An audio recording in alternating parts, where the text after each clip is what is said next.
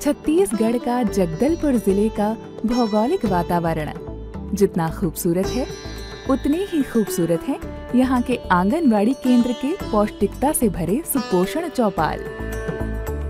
पौष्टिक भोजन के अत्यधिक उत्पादन अब बस्तर में रहने वाले बच्चों और महिलाओं के लिए भी लाभकारी सिद्ध हो रहा है। अब इनके खान पान में पौष्टिक आहार सम्मिलित हो रहा है। भारत सरकार के पोषण अभियान ने क्षेत्र में वो कमाल कर दिखाया है, जो पहले कभी नहीं हुआ था। छत्तीसगढ़ शासन द्वारा बहुत ही अच्छे प्रयास किए जा रहे हैं, जिसमें इस ज़िले की टीम के द्वारा आंगनबाड़ी केंद्रों के माध्यम से रेडी टू इट दिया जा रहा है।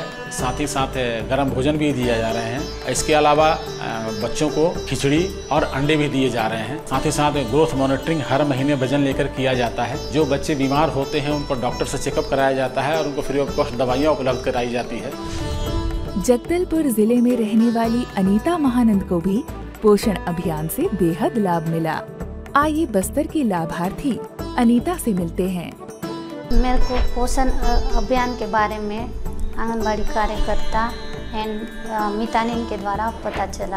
आंगनबाड़ी में आने के बाद मेरा नाम रजिस्टर हुआ। ताजे फल, सब्ज़ी खाना चाहिए, वही सब के बारे में बताया और आंगनबाड़ी में रोज़ खाना खाने आना, आओ, ये सब के बारे में जानकारी दी अगर ये योजनाएँ नहीं होता तो हम लोग को काफ़ी मुसीबतों का सामना करना पड़ता।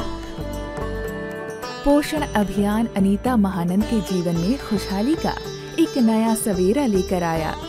इस अभियान के तहत उनका उपचार किया गया और पोषण ऐप पर उनका पंजीकरण कर उन्हें पोषण किट भी दी गई।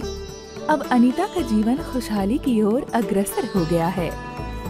पोषण अभियान, कुपोषण हार रहा है, देश जीत रहा है।